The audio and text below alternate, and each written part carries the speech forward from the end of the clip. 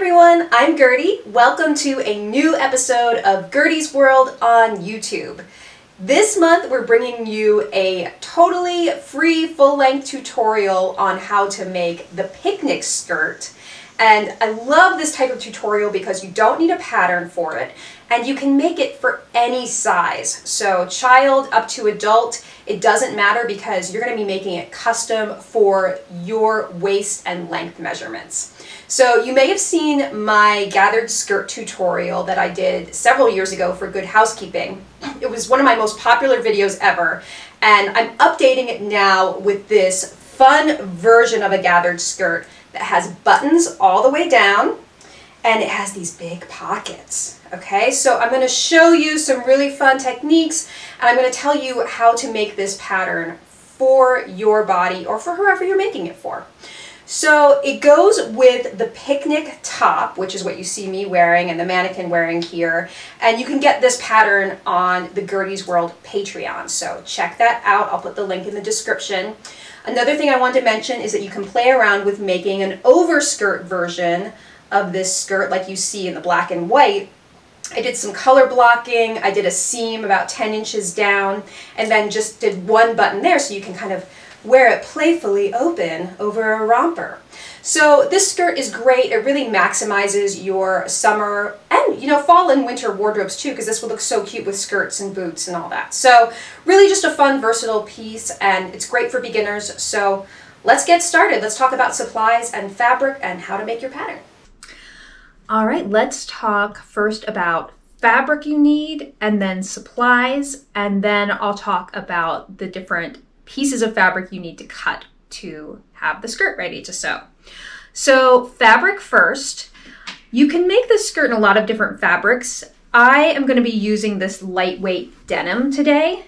And when I was shopping for this, I wasn't really sure about denim, but I knew that I wanted to have something that was had a light back and a darker front so you guys could see the difference.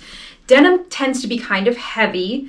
So when I was trying to decide if this was going to work for this skirt, what I did was I just held it up in the store and just kind of made gathers with it like this and then you know, kind of tried to look at and determine, like hold it up to a mirror and determine if I like the way the gathers were draping. Because that's the most important thing about gathers. You want to make sure that they're going to drape nicely rather than look bunchy around your waist. Okay, so that's how I came to denim. This is a six and a half ounce denim. Denim is sold in ounces. So if you do want to do denim, I would recommend going with something in the six ounce range. Chambray would be nice cotton lawn, broadcloth, quilting cottons. There's so many different fabrics you can make this in, but I would say the test is really gonna be, is it gonna drape nicely with those gathers at the waist?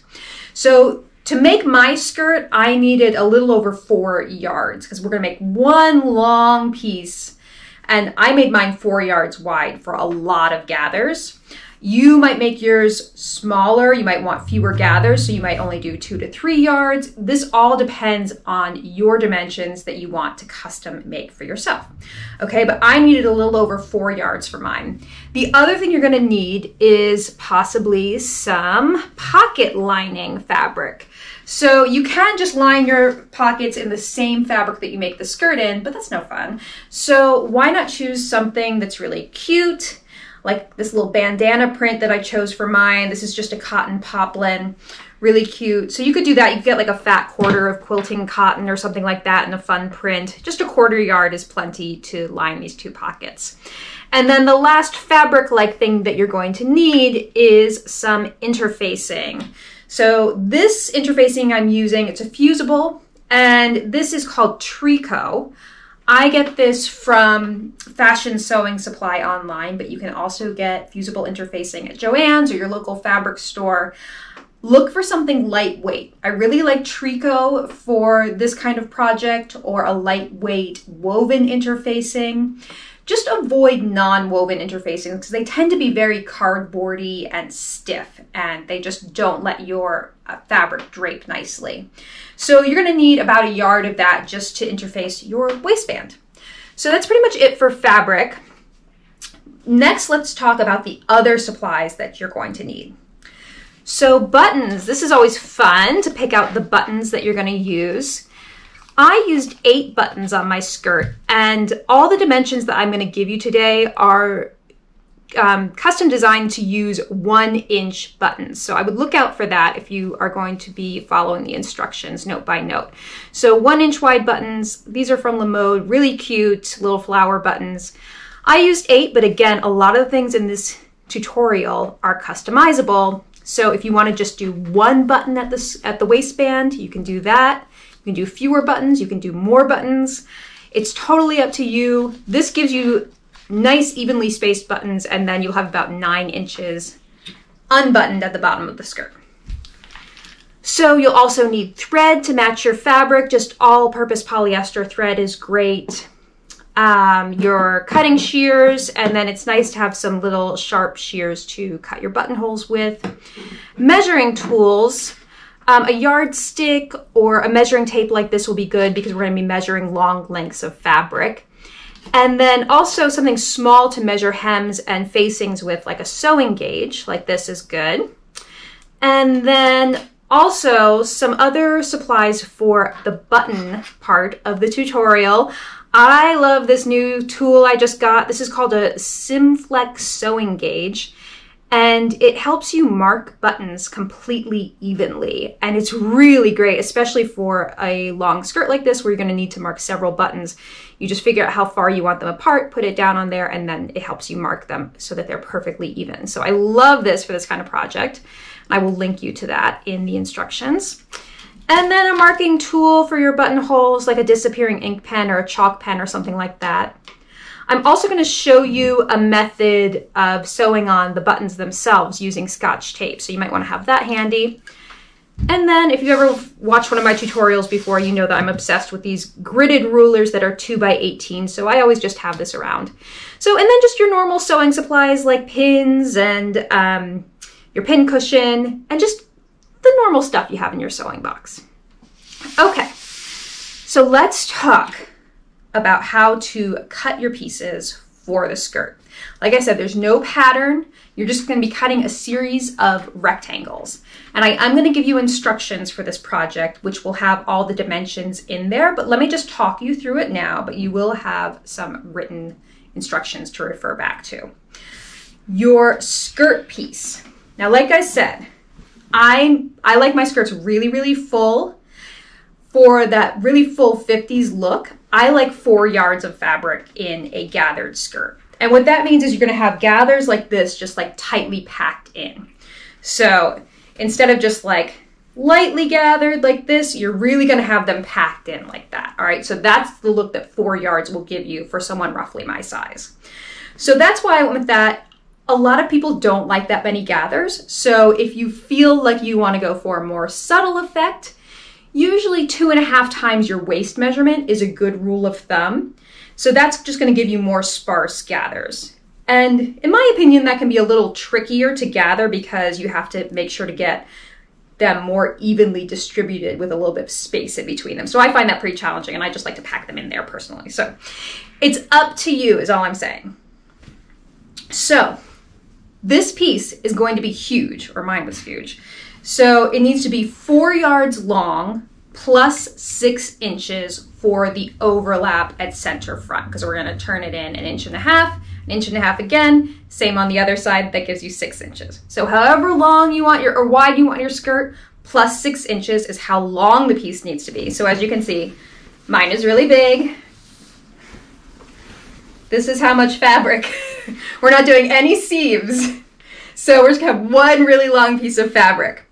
All right, so that's my skirt piece. The length, again, this is fully customizable. I like my skirts to be 27 inches long, and I feel like that's longer than most people like them. I, again, like that 50s look where they're a little bit below my knee. So 27 inches is my perfect length. Yours is gonna be different. And then you're gonna add six inches for the hem because we're gonna do a doubled three inch hem. But again, that's something that you can customize as well if you want a narrower hem. And then you're also going to need another 5 eighths of an inch of length for a seam allowance at the top. Okay, so that's how you get to your skirt dimensions. But again, please reference the document that you're going to get.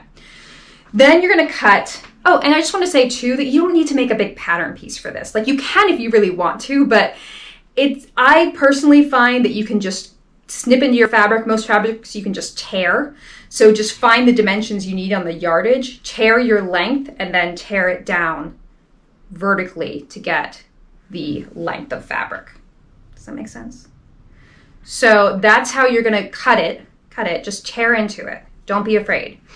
And then for your waistband, you're gonna cut a piece that is your waist measurement and it's plus three and three quarter inches long. And the reason I got to that number, if you're curious, is that it's your waist measurement plus one inch of ease. Okay, so if you want more or less ease, take that into consideration.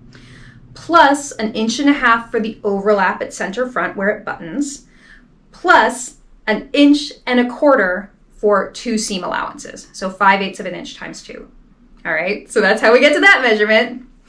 And then the height of the waistband, the finished waistband that I made is an inch and a half finished. So you want to double that by, you want to double that to get three inches. And then you also need seam allowances on the top and bottom. So that's how I got to three inches plus an inch and a quarter is four and a quarter inches, okay? So that's how you get to those dimensions. I know this is a lot of math that I'm throwing at you, and that's why I'm giving you that document so that you can really go through it for yourself. And then the pockets. So I just made my pockets eight inches across, nine inches tall. Okay, so you need to cut that in your fabric and then also in your lining fabric. Oh, and one last thing I should say is that you want to cut your interfacing as well to the waistband dimensions. I've already interfaced mine, but that's what you need the interfacing for to apply to this. Okay, so those are all your pieces. I know I just threw a ton of numbers at you. I, what I want you to take away from this is that this is fully customizable. You can change all of those numbers as long as you have the ease in there, the, um, the overlap at center front. So if you're feeling confused, please just go to that document and it'll tell you exactly how to get your perfect measurements for these three pieces that we need, your skirt, your waistband, and your pockets. Okay, so Go cut out your fabric. We're going to come back and we're going to start sewing. Okay, so the best way to sew this skirt is to do as much flat before gathering the waist as possible because it makes it a lot more difficult to like put on the pockets and do the hem and the front facing and all of that after you've done the gathering. So just keep everything nice and flat. We're going to start with pressing up the hem, which is a little unusual. We usually think of the hem as the last thing we do in the process. So I have my long length of skirt fabric laid out here. This is edge is going to be the hem, and then you can see it kind of trailing off here. This is one of the front facing edges where it opens for the button opening. So first thing we're going to do, and I'm going to go do this on my ironing board, but it's not quite big enough to show you this. What you're going to do is you're to take something like your ruler or your seam gauge and set it to three inches and all the way across the bottom of the skirt, you are going to turn it up three inches. Press it nice and crisp with your iron all the way across. Keep pressing.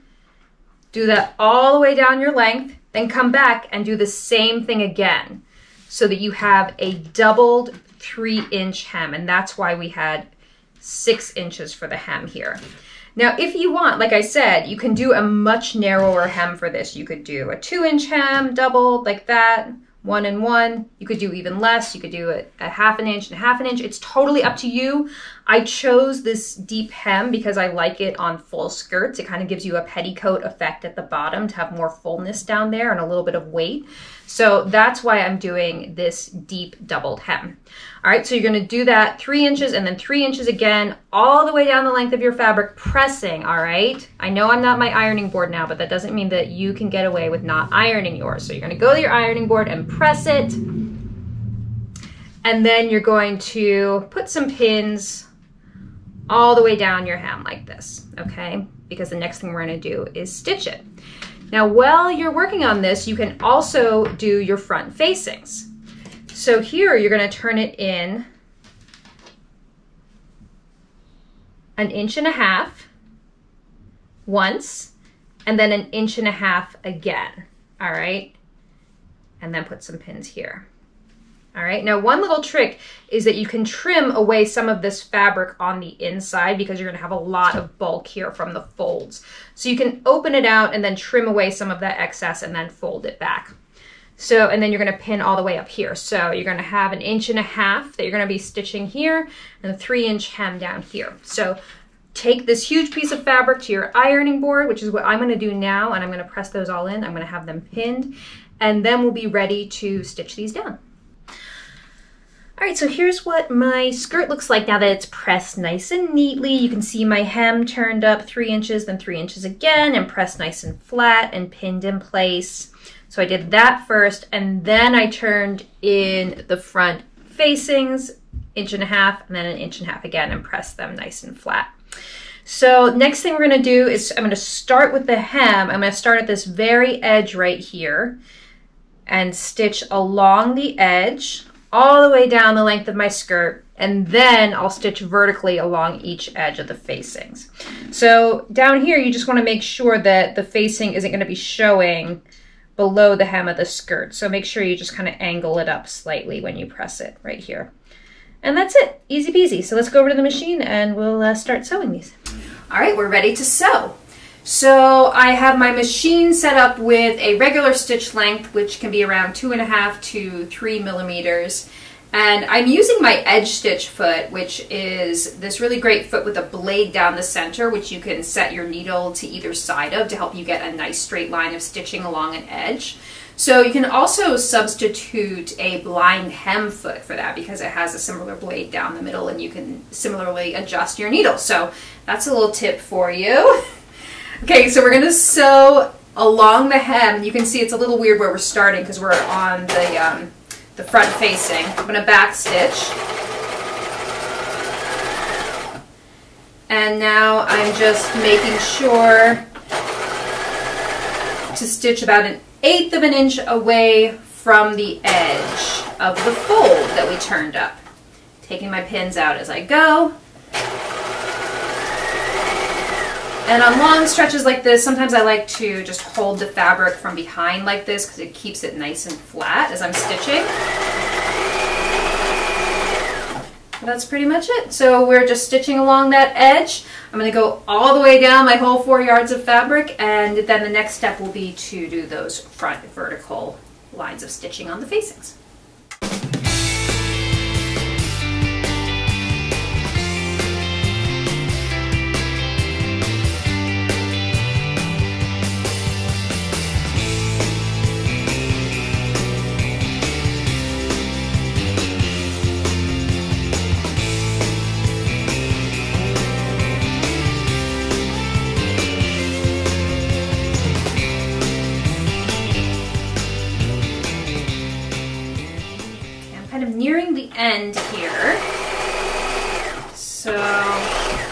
I'm just going to finish the way I started, which is by sewing over the front facing.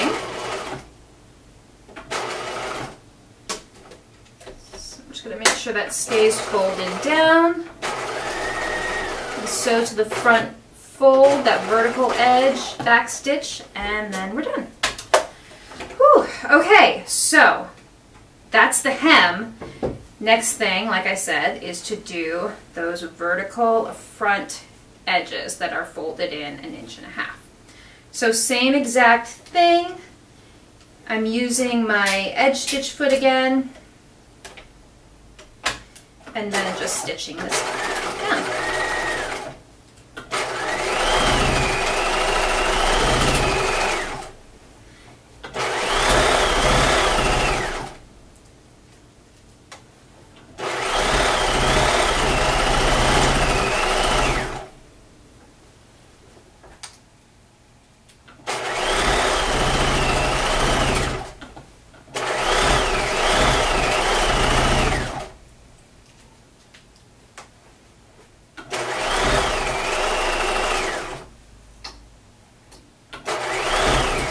Now my lines of stitching are going to intersect here.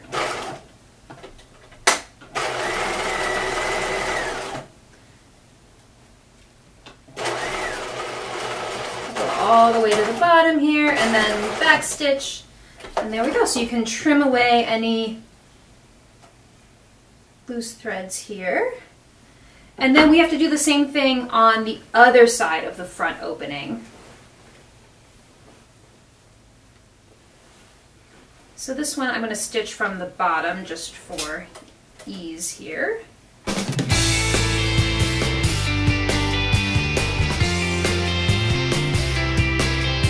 Okay, so our facings and our hem are done at this point, so that's great. You can give it a final press just to get it nice and crisp at the bottom and the front edges. The next thing we're going to do is go over to the table and we're going to talk about sewing the pockets we're ready to sew our pockets. So you have two cut out in your skirt fabric and two cut out in your lining fabric. And what you're gonna do is you're gonna put each set right sides together like this. And then you can put pins around the edges. And we're gonna sew all the way around the pockets using a quarter inch seam allowance. But we need to leave a little opening at the bottom. So it should be about three inches. So I just give myself some little marks here just to remind myself as I'm stitching. You can do the same on this one too. Just so that you don't forget what you're doing and accidentally stitch the whole thing closed because then you can't turn it right side out. Okay, so just pins all the way around like that.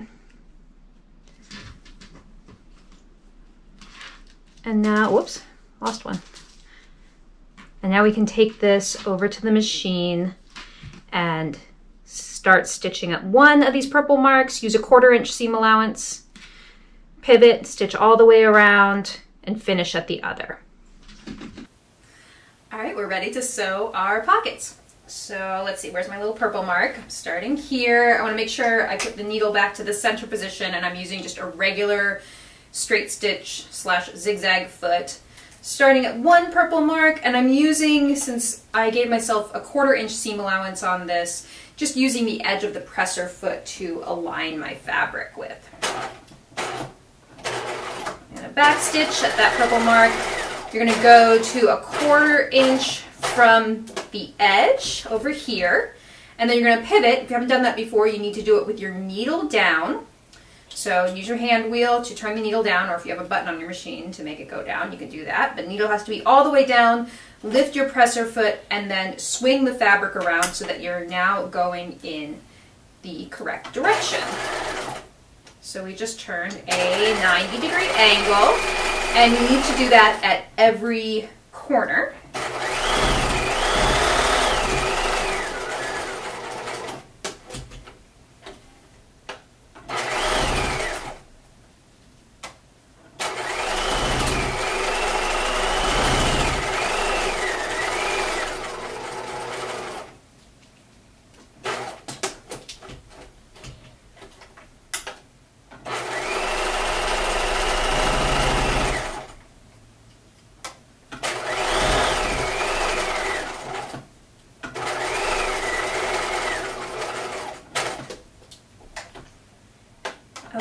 here I can finish at my other purple mark. I'm going to back stitch. And there we go. So trim your threads. It all looks good. Okay, and so the reason I used a smaller seam allowance on this piece is it just makes it a little simpler. You don't have to trim away as much. We're going to trim the bulk from our corners down, just angling your scissors like that and just trim away as much as possible from each corner.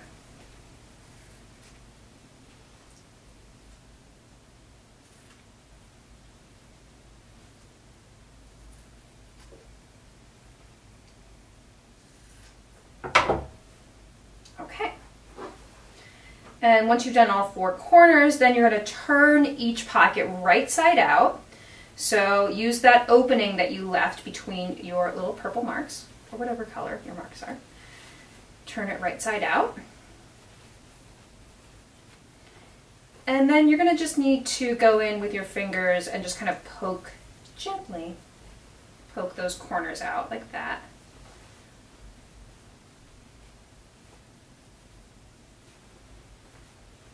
That to all four corners. And then I'm just going to make sure that my iron is on because the next thing we're going to do is press the pockets flat.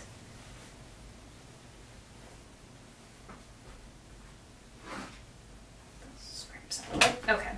So you have this opening right here. You need to make sure that those little seam allowances there are turned in. And then we're going to press this flat. And what you want to do is just roll the edges of the pocket out as much as possible. You don't want the sides to be like collapsed on themselves like this with a fold.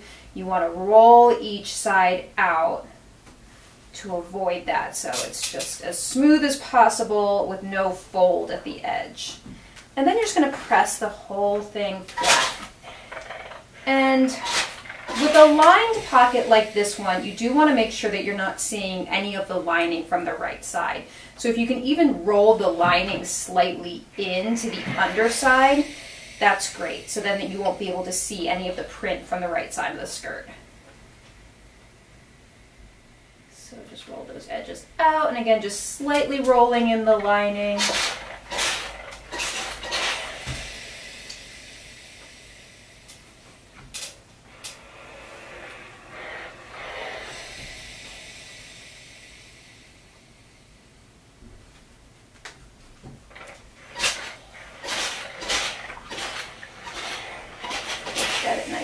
flat. Just check from the front that you're not seeing any of print around the edges. Okay, so there is one pocket completely sewn. I'm going to sew my other pocket and then we'll go over to the table and I'll show you how to place them on your skirt.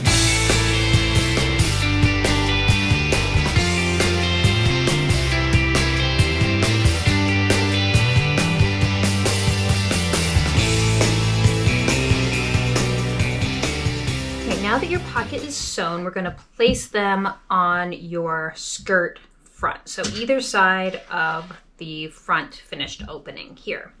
So here are the dimensions that I used. I came in from that front edge 16 inches. So just kind of move your pocket over there.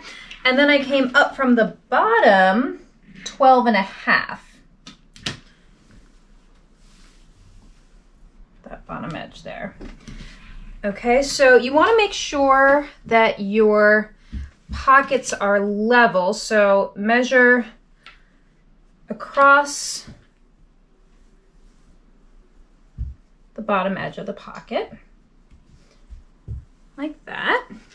And then I'm just going to double check that 16 inch measurement here.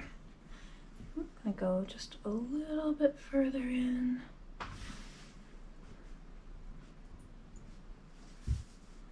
Okay, great. So always double check yourself. And if you're not sure that you're gonna love this pocket placement, you can always just pin it on now or baste it on now. And then at the very end of the process, after the skirt is gathered and your buttons are sewn, then you can try the skirt on and make sure you're happy with it. But since I know where I want my pocket, it's easier to put it on flat than when it's gathered. So I'm just gonna pin around these edges. And I did want to show you a fun little variation that you can do with these pockets, which is to do a flap pocket, which just means that you're gonna turn this down and leave part of this unstitched. So super 50s look. I almost did it on my yellow skirt that I'm wearing and then decided that I didn't want to do it. So I might do the same on this one, but I'm going to show you how to do it and the good news is, if you don't like it, you can just go stitch all the way up there. So it's not um, something that you really have to commit to. You can try it out. But I'm gonna leave about two and a half inches unstitched at the top of the pocket. So I'm just gonna stop stitching right here. So I'm just gonna give myself a second pin here so I remember. And then I'll be able to kind of press that down, just give it a little steam and that you'll be able to see a little accent there. So what I'm gonna do next is, well, I'm gonna place my other pocket on the other side of the front opening, and then we're gonna take this to the machine and stitch all the way around using that edge stitch foot again. Okay, we're ready to edge stitch our pockets in place. So I put my edge stitch foot back on and position the needle so it's just to the left of the fold of the pocket here. And I'm going to start stitching at this upper edge and back stitch. And I sometimes go back and forth a couple times at the top of a pocket because that area gets a lot of wear and tear, especially if you're like me and you're putting your phone and dog treats and all that stuff in there and taking them out all day you're going to get a lot of wear there. So you can do what's called a bar tack on there. Your machine probably makes one, or you can just do a really narrow zigzag up there to reinforce it. Or just be low maintenance and just kind of go back and forth a couple times, back stitch and forward. Okay, so we're edge stitching around the pocket. I'm coming up to this lower right hand corner. I'm going to pivot just like we did when we were sewing the pockets. Turn around.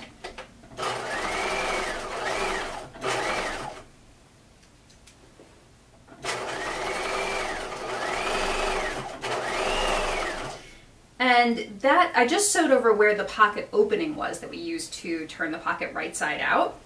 So this edge stitching will close that opening effectively. So a lot of times you have to slip stitch an opening closed or something like that, use a hand stitch, but um, in this case we don't need to because the edge stitching will hold it close.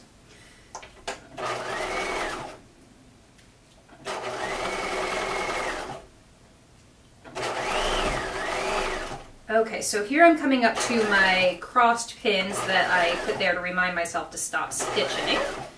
So when I get there, I'm going to back stitch back and forth a couple times and stop to leave myself this nice little flap here. And like I said, I'm not totally committed to it. If you want to not do a flap, like I did on the yellow skirt I'm wearing, you would just continue sewing all the way to the top and then you'll just have a regular patch pocket there. But what I'm going to do is turn this down and then I'll give it a little steam to kind of hold it in place and I think it'll look real cute. Okay, so there's one pocket. I'm going to do the same thing on the other side. There we go. Okay, so on this one I'll be starting at that point with the flap.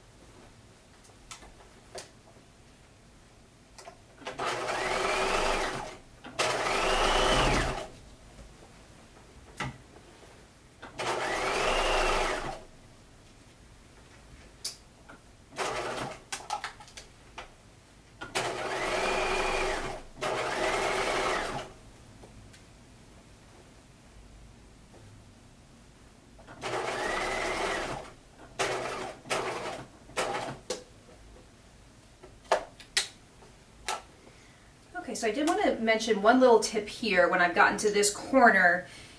If I were to keep pivoting in the same direction, I would have to take all of this skirt and shove it through the center of the machine. And one cool thing that I learned from a YouTube commenter actually is that you can swing the skirt in the opposite direction and go back in the way you came.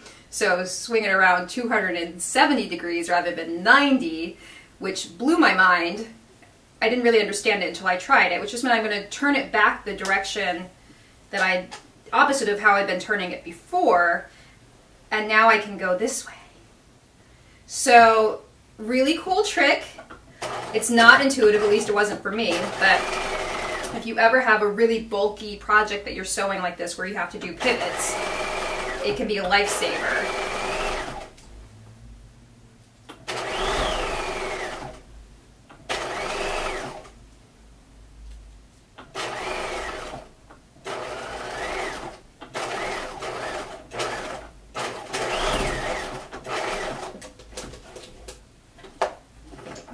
there's both pockets sewn.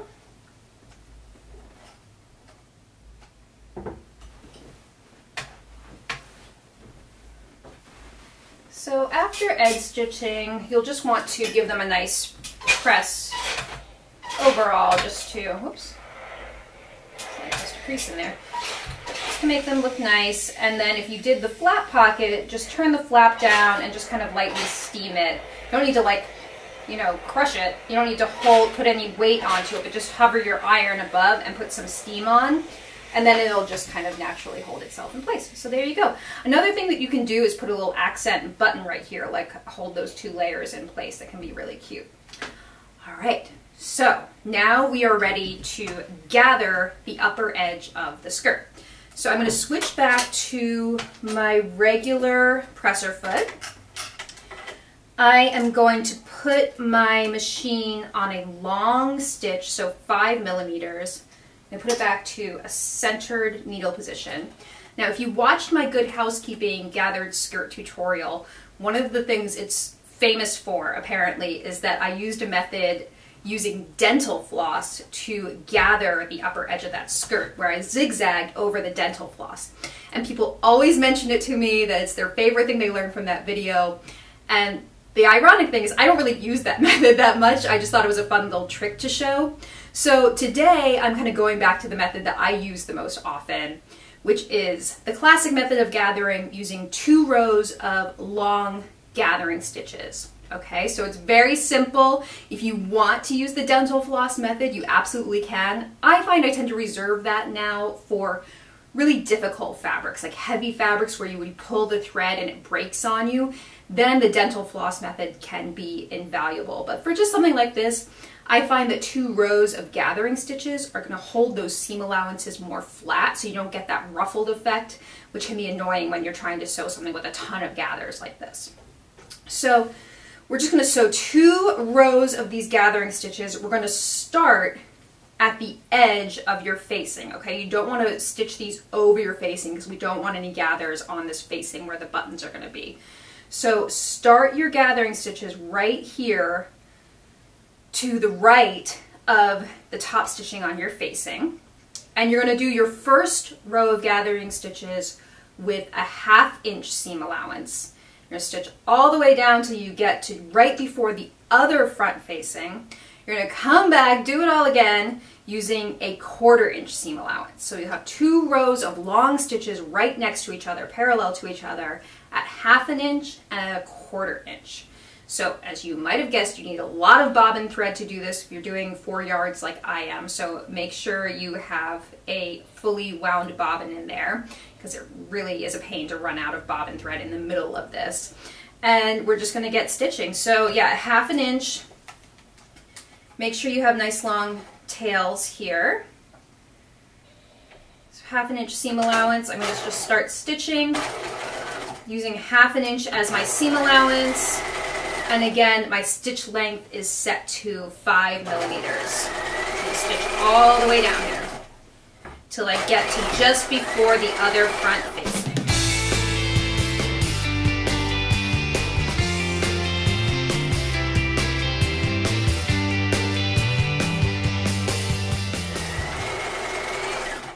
Okay, so I'm just coming to the end of my first row of gathering stitches at half an inch. So I'm stopping right before I get to the top stitching for my front facing.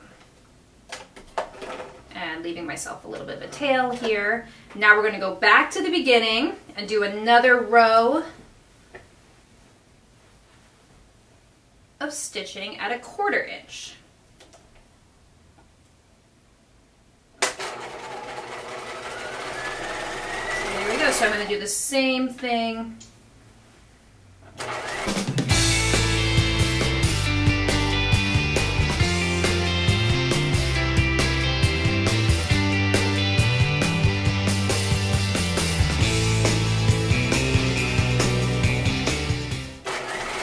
Okay, coming up to my facing here. So I'm gonna stop stitching, leave myself some tails, and we're gonna go over to the table and we're gonna talk about gathering this. But before we do, because I can show you a little bit better here, The next thing I want you to do is actually to find the center back point of your waistline. So take your two center fronts, your front facings, match them together, and then find the opposite end of the skirt where it would fold at center back. So right here, I'm going to put a pin to remind myself that this is center back so that we know where we're gathering to from each side.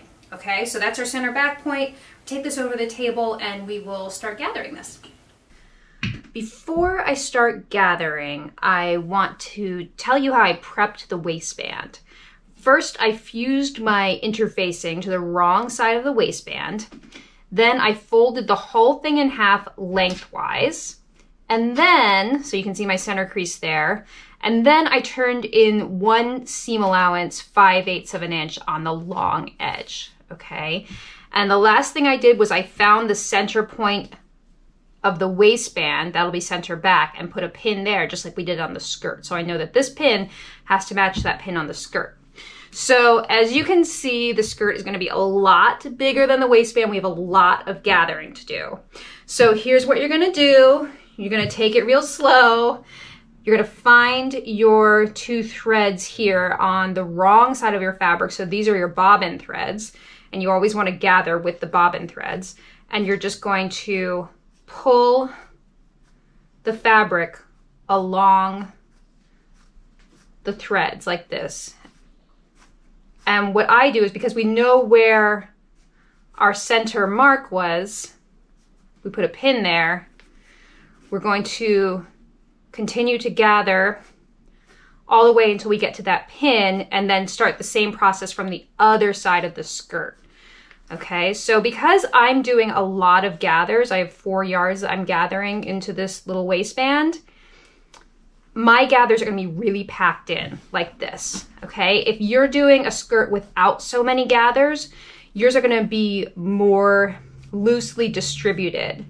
So it's nice to have the waistband here to kind of get a sense of how tight those gathers need to be packed in there so you can kind of compare as you go. All right, so I have a lot of gathering to do.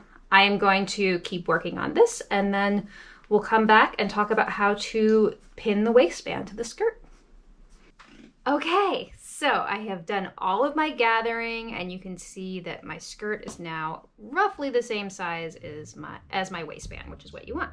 So I was really struck as I was doing this by how much more space the gathers take up in a heavier fabric like denim than like the lawn that I made the yellow version in gathers a lot easier. So I just want to say that it really depends on your fabric too. You might want to change how many yards you have in your skirt. If you're using a lighter fabric, you can use more yards. If you're using a heavier fabric, use fewer yards.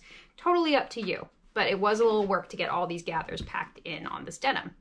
Okay, so we've got our center mark pinned on the center back pinned on the skirt and on the waistband. So what we're gonna do now is put them right sides together. So I'm gonna turn this over. I'm gonna open out the waistband entirely like that and then put them right sides together. Start pinning there. So put one pin at your center mark. And then at each end, the waistband needs to extend 5 eighths of an inch past the finished edge of the front facing for the seam allowance. Okay, so then your gathers are going to get distributed in between there. So I'm just gonna. So as you can see, these gathers are packed in as tightly as they can go with four yards in this denim. So this is gonna be a very full skirt, which is what I want. All right, so put a few pins there. And then we're gonna repeat the same thing on the other side. Again, making sure that the waistband extends 5 eighths of an inch past the finished edge of the front facing. like that, and then just distributing it through there and then placing my pins there. So next thing we're gonna do is go to the sewing machine and sew these two together. I'm gonna sew it with the gather side up just so I can keep an eye on the gathers and make sure that they don't do stuff like that where you get it caught in the stitching and then you get a weird fold on the right side. So let's go on over to the machine. I'm just gonna play with this till I have it exactly how I want it and then we'll go over to the machine and we'll talk about sewing these two together. Okay, so we're ready to sew on the waistband, and I just want to make sure that you know the waistband needs to be completely opened out like this. You can leave the seam allowance still folded in, that's fine, but it just needs to be away from where we're sewing on the seam line here. Okay, so we're going to sew at 5 eighths of an inch and make sure to put your stitch length back to two and a half to three because the last thing we did was gather. So you're to start on the edge of the skirt and back stitch. And now we're to stitch all the way across these gathers. And just be really careful that your gathers stay nice and smooth and flat. And if you need to like occasionally pick up your presser foot while your needle's down and just kind of rearrange the gathers, that's totally fine. And this is why I really like the two rows of um, gathering stitches for this skirt is because I feel like it keeps the seam allowances really flat where it's gathered rather than all ruffled up. So it just gives you a little more control.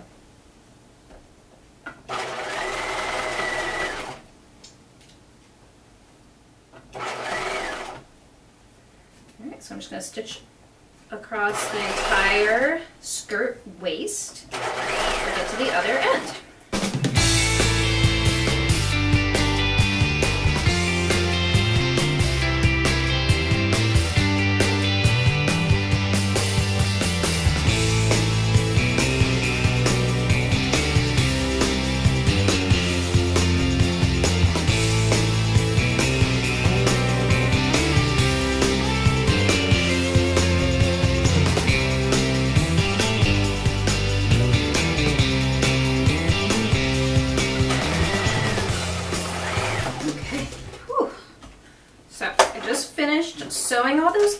Gathers and the first thing that I would recommend that you do is check that you're happy with how the gathers look on the right side of the skirt. So I would just kind of like check it out, look at all your gathers, make sure you don't have any weird sort of areas like this where it accidentally got caught, the skirt got caught in the gathers. But um, yeah, I feel like since I was pretty vigilant um, like lifting up my presser foot and checking where the gathers were. I'm happy with how that looks. But if you're not, just go back and use a seam ripper to take out the little section that you're not happy with, redistribute the gathers in that little area, and then just restitch that little section. You don't do not need to do the whole seam again, okay? So if you need to fix anything, do it now. Um, the next step from here is to trim down this seam allowance. So I'm going to take my scissors and what I'm going to do, see if I can just kind of show you. I'm going to take both seam allowances, the waistband and the skirt itself, and I'm going to angle my scissors towards me slightly so that it naturally creates a beveled edge to this seam because there's a lot of bulk on those gathers, right? So if I kind of create a little angle like that, it'll help reduce some of the look of the bulk on the right side of the waistband once it's turned right side out. So I'm going to trim like this, and I'm trimming the seam allowance down to about a quarter inch to three eighths of an inch. My first, I still have those two rows of gathering stitches in there, and I'm going to leave them in there to kind of control the fullness in that seam allowance. Okay, so I'm going to trim across that entire waistband, I'm sorry, waistline seam, and then the next thing I'm going to do is press it up, press that seam up towards the waistband, and then we'll talk about finishing off the waistband itself.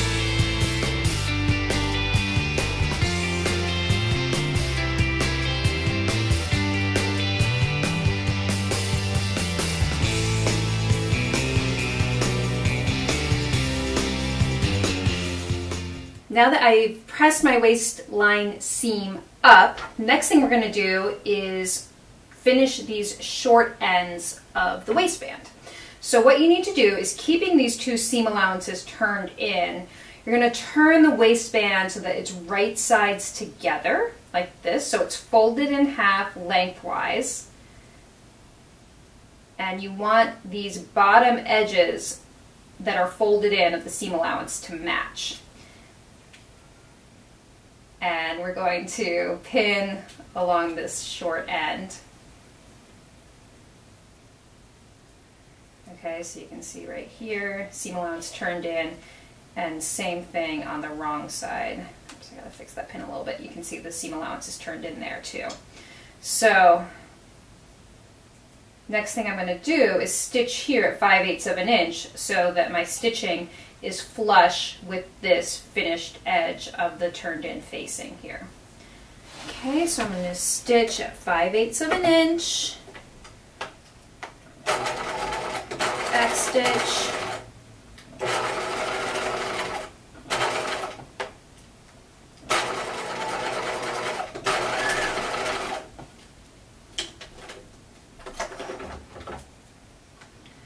And now I can trim these seam allowances down. You can kind of trim diagonally across those corners. Get rid of any threads and all of this. And what's going to happen is that we'll be able to turn this right side out, get a nice finished corner there, and then we'll be able to turn the waistband in, and that seam allowance is already turned in on the waistband so that we can completely enclose the waistline seam. Okay, but I need to do the same thing on the opposite side of the waistband. So again, I'm just going to turn the waistband so that it's right sides together folded in half lengthwise, making sure that those two seam allowances stay turned in. Pin along this short end, and then stitch here at 5 eighths of an inch.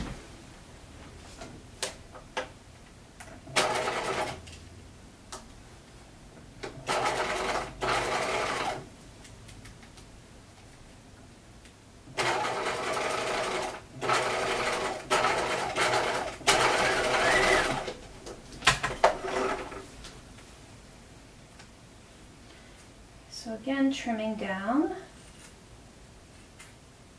trimming diagonally into those corners.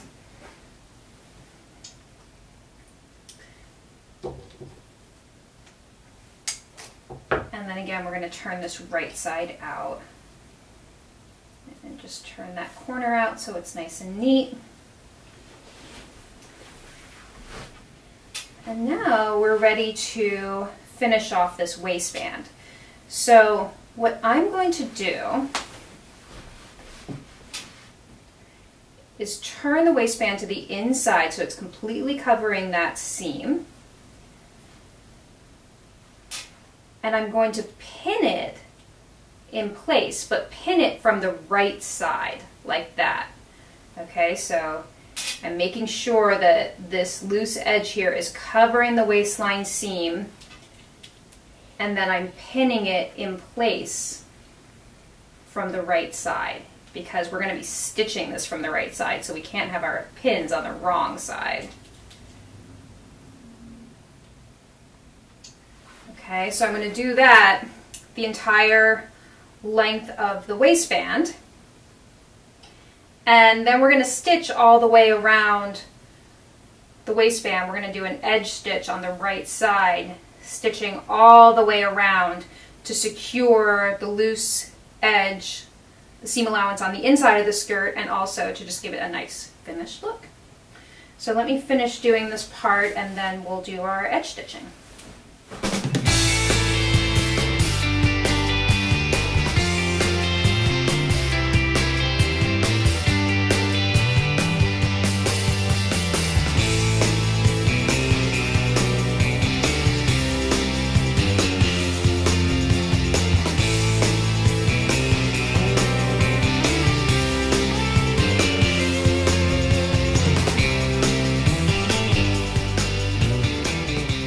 So I just wanted to show you that I did stitch around all four sides of the waistband. So the bottom edge, which we started with, which keeps the seam allowance on the opposite side secure.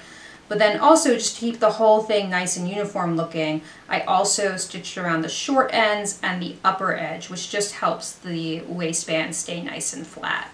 So last thing I'm gonna do here is just give it a little bit of a press and then we're gonna go mark our buttonholes. And then the final things to do are buttonholes and sewing on the buttons and then we're done. Okay, we're ready to place our buttonholes. So grab your buttons and what I did that I really liked on my skirt was I have one on the waistband and then to avoid having a gap right here between the next button, which you sometimes get on this type of skirt, I put the second button right below there and then evenly spaced out the buttons, the, the remaining. So one on the waistband and then seven on the skirt. So we're gonna use this fun gauge. So the first one I'm going to center exactly on the waistband. And you can use this little prong here that should be aligned with the edge of the skirt. And then you can use a chalk pen or your disappearing ink marker, whatever will show up for you on your fabric. That's where your buttonhole is going to be placed. So the next one, I want to, I want to make sure it's like about a quarter inch below the waistline seam. So about right here should be good. Looks good. And then I'm just checking the spacing with this gauge. You can make them closer together or further apart, keeping in mind that I'm going to have seven buttons total. So one, two, three, I think there's eight prongs on this. So this will be my last button. You can leave a little bit of space at the bottom.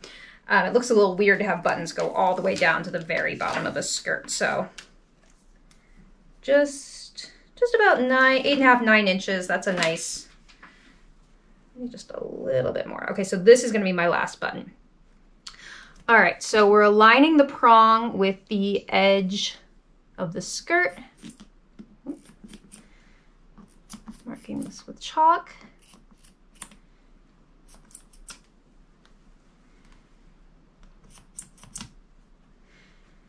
And if you don't have a sewing gauge like this, you'll just need to make sure that your markings are the same distance apart from each other. All right, great. So there are all my markings. And now I'm just going to use my clear ruler here. I want to make sure that I have, when I'm sewing buttonholes, I like to have a clear end line on both sides. So it looks like a, a capital I. And for an inch wide button, your buttonhole should be an inch and an eighth long, like that, so that you have a little bit of room to pass the button through. Okay, so I'm going to make that uppercase I on all of my markings here. And then I'm going to go over to my machine and sew my buttonholes. Um, buttonholes are different on every machine, so you're going to want to read your manual and go ahead and sew your buttonholes. And then we'll come back and we'll talk about how to place your buttons. All right, so I sewed my buttonholes. I have a six step buttonhole on my Bernina, so that's what I used. And I left, I opened all of these except for the last one because I wanted to show you how I did it. You always want to put a pin at the end of your buttonhole, like that. And then you can use your stitch ripper or a small pair of scissors to open it up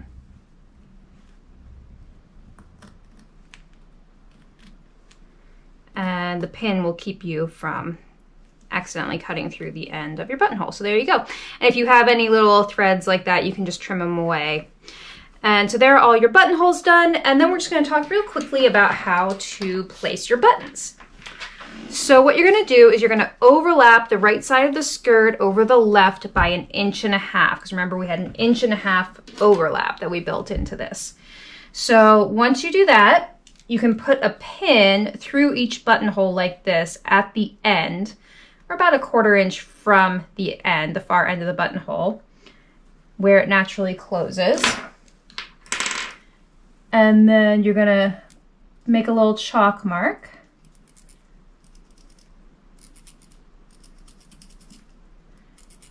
You can just make like a little X or something like that at each buttonhole point. Okay, so I'm gonna do that all the way down. And then I'm gonna show you a really cool trick for sewing on buttons by machine, this kind of button with um, holes in it rather than the shank type button, which just has the loop on the back. So what you can do is you're gonna use scotch tape to hold it in place, or if you have a button sew on foot on your machine, you can use that. But you're gonna put a piece of tape over the button like that, and then align the button with your mark like that so that the very center of your button is right over your button mark and you're we're gonna tape buttons all the way down at each mark and then we're gonna go over the machine and I'll just show you how to sew these buttons on by machine with a zigzag stitch. Okay, so let's get these buttons sewn on. You have them all scotch taped to your skirt. Now you're gonna have your regular presser foot on you are going to have your stitch length set to zero. Very important, okay? Zero. You And you're going to want to test it first if you're not sure if your machine does a zero stitch length because if your stitch moves forward at all, you could potentially hit the button and break your needle. So you don't want to do that. So your stitch length is set to zero. You're going to put the button underneath the presser foot and make sure you just pull the threads to the back and for now, very important to keep your foot away from the pedal, okay? We need to get the zigzag stitch perfectly spaced so that you're not going to hit anything and it's if you have your foot on the pedal you could accidentally hit it. So your needle is right in the middle right now. Now you're going to adjust your stitch width, your zigzag width, so that it's going to go into the left hand hole of the button and then you're going to use your hand wheel to test this at every stage. All right, so I'm testing and it's going into the left hand hole. And now I'm testing to see if it's going to go into the right hand hole. And I'm going very slowly and it did not hit the button. Okay, so that's good. It went through the hole. If it had hit the button, that would mean that you need your stitch length to be wider. So I'm just double checking myself that my width is correct. And now that I'm happy with it, I'm just going to hit the pedal. I'm going to hit the pedal very slowly. And just build up a little thread there. And that's it. I only have two holes in my button. So I'm going to pull this out. And I'm just going to take the scotch tape off, just peel it off the button here, like that. And then you're going to have some loose threads here. And because we have a zigzag stitch here, it's very secure. You can just trim all your threads closely or pull them to the back of the button. There you go. So beautiful machine sewed buttons. So obviously you could also sew your buttons on by hand if you're more comfortable doing that, but I did just want to show you a quick and easy way to sew your buttons on by machine. So that's it. I'm going to keep sewing my buttons and then the skirt is finished. So I hope you have loved learning how to sew this super easy, no pattern button front, front skirt and I can't wait to see you wear your picnic set. And don't forget that if you want to sew the coordinating top, the picnic top, it's available on our Patreon, which is called Gertie's World on Patreon. So I hope you love it, and I will see you next time.